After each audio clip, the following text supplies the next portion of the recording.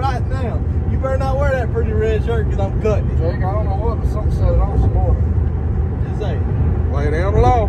Especially if you didn't, if you don't listen to me. If you send her at 40, with with them coming in, I mean, I mean, just because I've they only missed at 50 and 45. I ain't shot 40 yet. I might be deadly at 40. come on now. It's You just don't never know. Just make sure one's standing behind them. Yeah. That way, if you do miss, you'll hit that one. Definitely. Actually, I'm going aim for the freaking the belly down here and let it duck into it. Hit the yarlin underneath it.